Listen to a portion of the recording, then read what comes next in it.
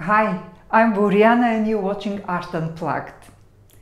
This video is about René Magritte, the artist who was a philosopher in a way only an artist can be.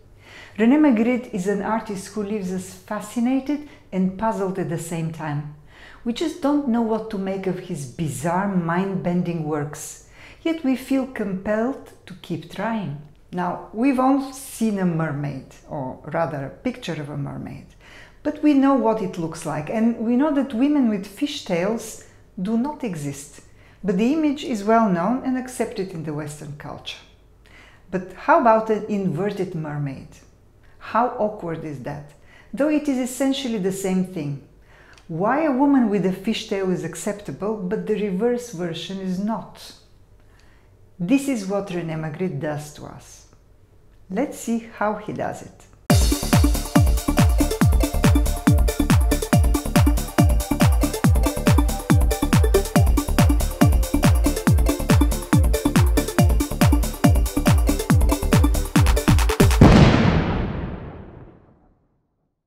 Considered the most significant Belgian artist of the 20th century, René Magritte is one of the leading members of the Surrealist movement, an artistic movement influenced by Freud's theory of the subconscious mind. Surrealists painted their dreams or applied various methods for generating random images, deliberately breaking the logical connections that made the world make sense. The resulting works of art are impossible to decipher. Our instinct to rationalize what we see is thwarted from the start. René Magritte, however, developed his own unique brand of surrealism. Instead of telling us to leave our rational mind at the door, he provokes us and lures us to keep trying to make sense of what we see. In the surrealist playground, this is the kid I choose to play with. Because after looking at a few of these for a while, and remembering what I know about the movement and the artists, I lose interest. The work itself does not engage me rationally or emotionally. But look at this. This is a self-portrait, Magritte's reinterpretation of the popular theme, the artist at work. Here, however, the focus is not on the skill of the painter, but on his thought process. The artist does not paint what he sees with his physical eye, but what he sees with his mind's eye. The image could just as well be the other way around. He could be looking at a bird and painting an egg. This work is a reflection of the meaning of art, the role of the artist and the art process itself. And here is a photograph of Magritte painting the painting of the painting. Note that there is no physical egg or bird on the photograph. René Magritte defined himself as a thinker who used paint to explore philosophical issues. He read Plato, Heidegger and Sartre and was familiar with the work of the structuralists Ferdinand de Saussure and Michel Foucault, who later wrote about him. Unlike his flamboyant surrealist peers, Magritte lived a simple life, earning his living from advertising. There was nothing of the bohemian artist about him. With his black coat and bowler hat, he looked more like a clerk or an insurance agent. He even painted dressed in his suit. In fact, he was always a political rebel, an anti-fascist and even a member of the Belgian Communist Party. Magritte's best disguise was being himself. Although he tried different styles throughout his career, eventually Magritte settled on a sterile, stylistically neutral technique. He believed that style would only distract the viewer from the meaning of the work. Painted in a plain, matter-of-fact manner, his images function more like written words. He did use writing in his paintings too, but to add a layer of meaning beyond the writing itself. Conceptual artists after him loved that.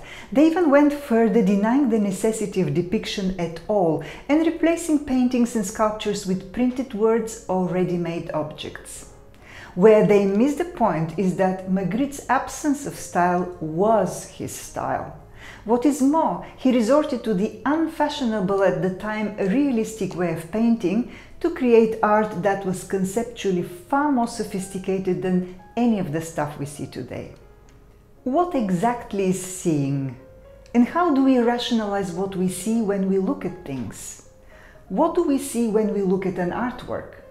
These are some of the questions which Magritte liked to throw at us through his disruptive compositions, combining objects in ways that defy any logic. Here is his iconic painting, The Treachery of Images.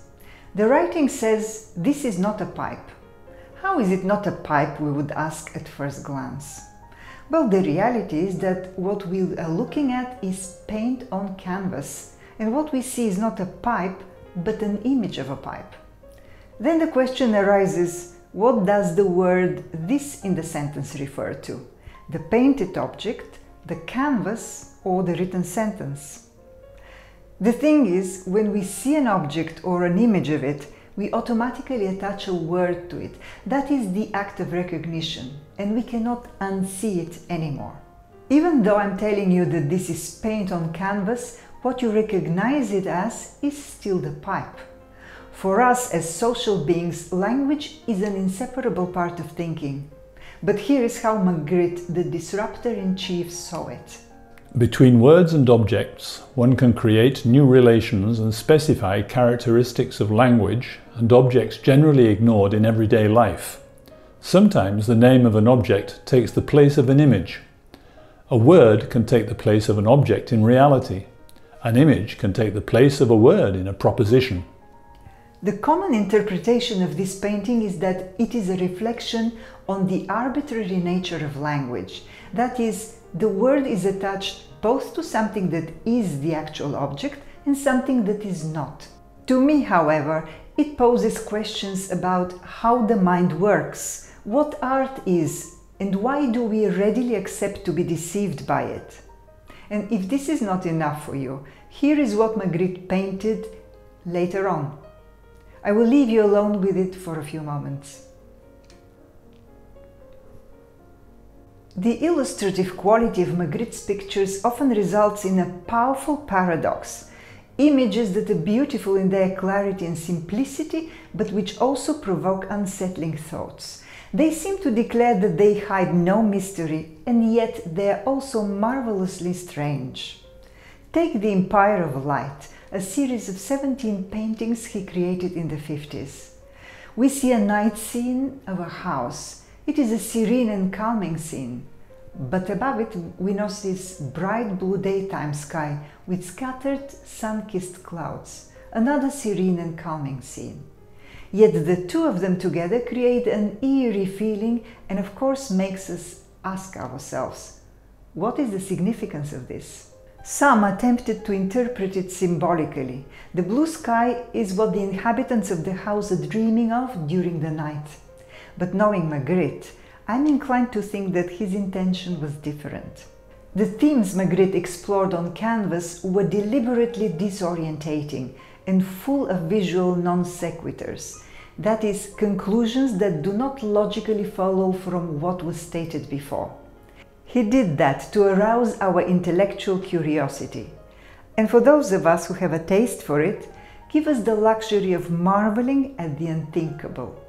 A central idea running through Magritte's work is that painting must be poetry and that poetry must evoke mystery.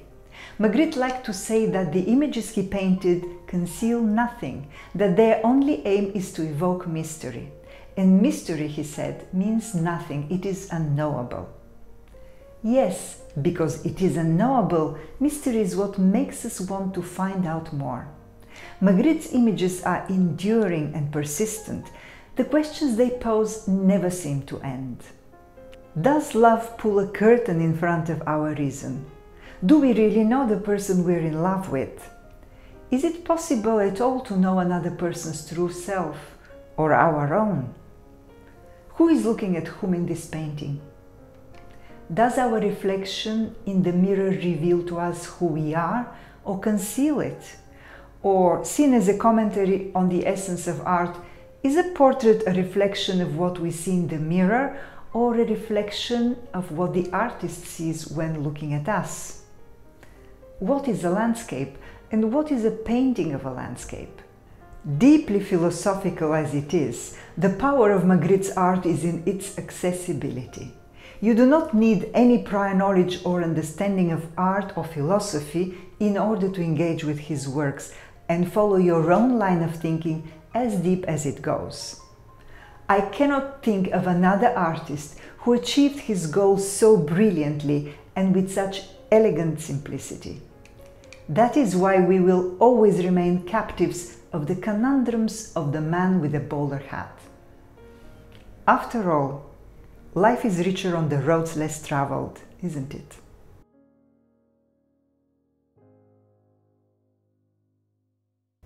I have included links to my videos on Salvador Dali and conceptual art in the description below. I hope you enjoyed this video. Please like, share and don't forget to subscribe with the bell if you haven't done already.